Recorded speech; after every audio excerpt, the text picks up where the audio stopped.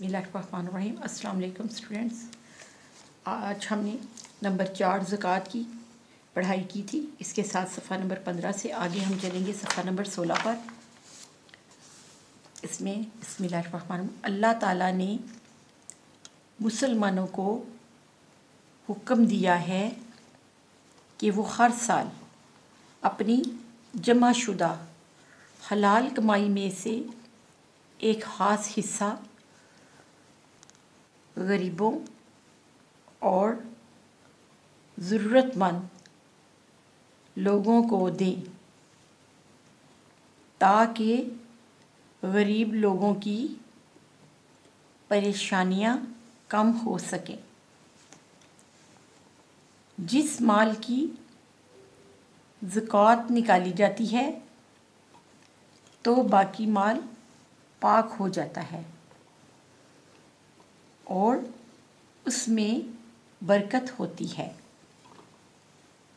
ज़रूरतमंद लोगों की मदद करने से अल्लाह ताला खुश होता है और अपनी रहमतें नाजल फरमाता है।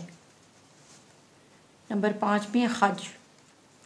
हज इस्लाम का पाँचवा रुकन है। हज अदा करना उन मुसलमानों पर फ़र्ज़ है जो हज के अखराज बर्दाश्त कर सकें।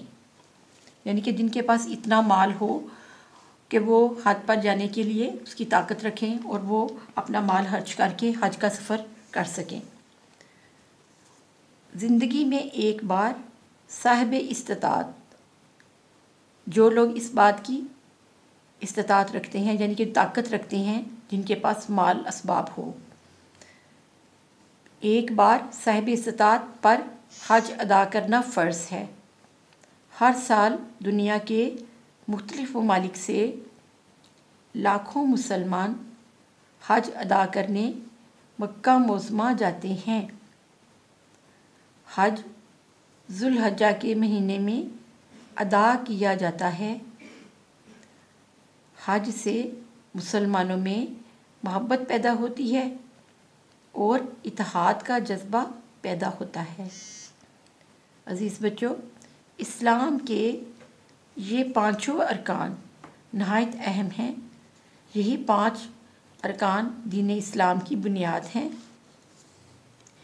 इन अरकान पर अमल किए बगैर कोई शख्स मुसलमान नहीं हो सकता।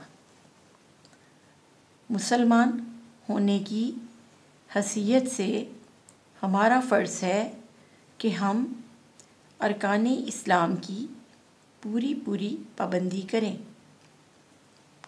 कलमा तय्यबा ला इलाहा इल्लल्लाहु रसूलुल्लाह का कसरत से ज़िक्र करते रहें। पाँच वक्त की नमाज़, बाजमात, पाबंदी से अदा करें। माह रमज़ानमबारक में पाबंदी से रोज़े रखें।